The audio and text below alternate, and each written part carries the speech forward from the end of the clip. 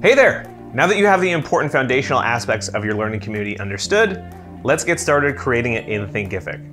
In this video, I'll walk you through setting up your Thinkific community, and I'll be doing this on my website, but yours might look a little different. The steps should be roughly the same though. Now, your community can be its own standalone space or associated with a course product on Thinkific. The key thing to remember is that all members will need to have an account on your Thinkific website to access the community. Okay, let's get started.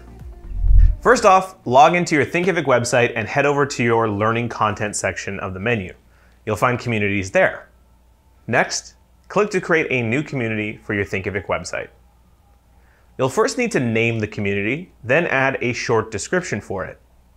Next, we'll set up access rules for this community. You have four options here. Only Me ensures that only you can see it. This is a useful setting if you'd like to keep this community totally hidden before it's ready to go. Students in groups means that you can only give community access to a closed group of people. In Thinkific, you can create specific groups of students, and often we see people who sell their courses to a company or an organization use this to keep their communities private. Enrolled students are what most creators use. This gives access to the community when a student is enrolled in one of your courses. This access expires when the enrollment period expires for students, if you set up an enrollment expiry when you set up your course. Logged in students allows access to the community to anyone with an account on your Thinkific website. This essentially means that access to your community is free to any logged in student. Once you've chosen your access rules, you can move on to set a color and font for this community. The color will be used throughout the community as an accent color and for things like buttons to post and reply.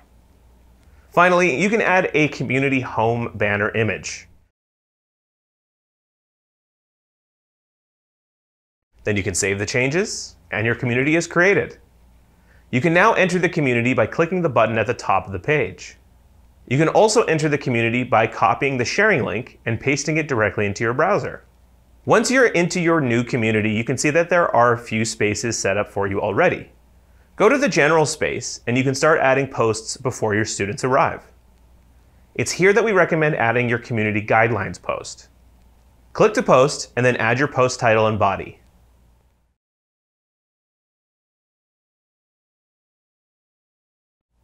Once you're done, post it and click the menu icon on the post to pin it to the top of the space. This will ensure that all new members see the guidelines before posting. If you need some inspiration for your guidelines post, we have some handy swipe copy that you can use below this lesson.